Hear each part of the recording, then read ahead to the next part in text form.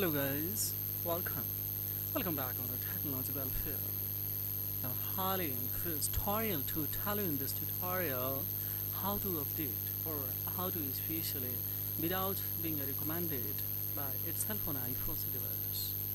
How can I know that which apps and applications is required to update or especially iPhone device? Sometimes due to security concerns, if any old it's an application that has been installed on your iPhone device and uh, we don't know that maybe a security concern. So in that conditions yes we need to know that.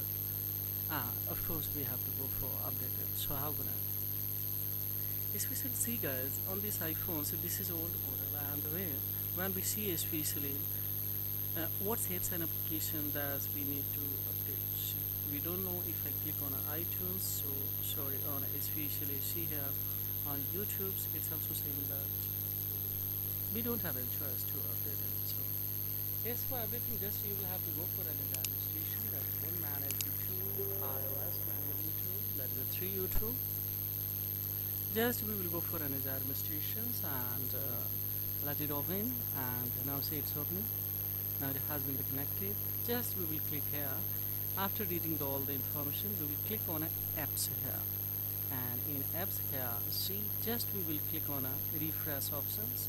And after the come here just we need to click on a update option. So update here. Once again we will click here.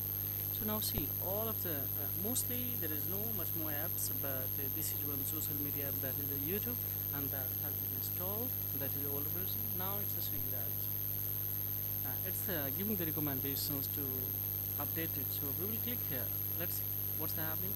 Now it has started to download here. And after downloading course we will go for install it or see one thing so the old version will be removed and the new latest version like uh, especially YouTube symbols will be installed on here. So how easily without touching your iPhone device first that we can go for update so now see guys here it's uh, it will transmit and this uh, data will be uh, transferred to the install it here. So uh, it will take a scarcely two to three minutes so video will be done this and sorry for apps and this is all about in this video tutorial. By this technique, of course any apps and application your iPhone is not recommending to especially install or to update then by virtue of this ones you can go for up to date uh, apps and application on iPhone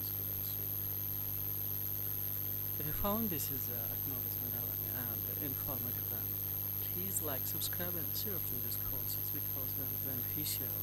Those who is highly increased or increased to have this kind of information from this channel. So thank you, thank you very much indeed. Have a great time. Bye bye.